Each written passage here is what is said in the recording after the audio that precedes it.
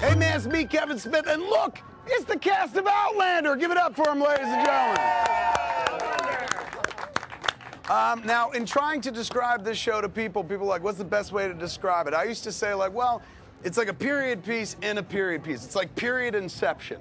But I find the easiest way to describe this show for others is like, this is the show that makes my mother wet.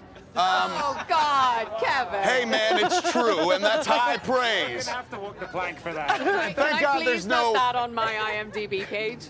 You can put it on the poster as well. Yes. This is a show that has captured hearts and imaginations of an audience that clearly doesn't get enough um, directed at them. Aside from just having the genre people, you have people that generally don't watch this sort of show as well, who are an ardent, hardcore fan base. What is it like to encounter those folks, the outlanders, if you will? Well, you know, I once got a letter from this woman who was writing me on behalf of her 80 year old mother.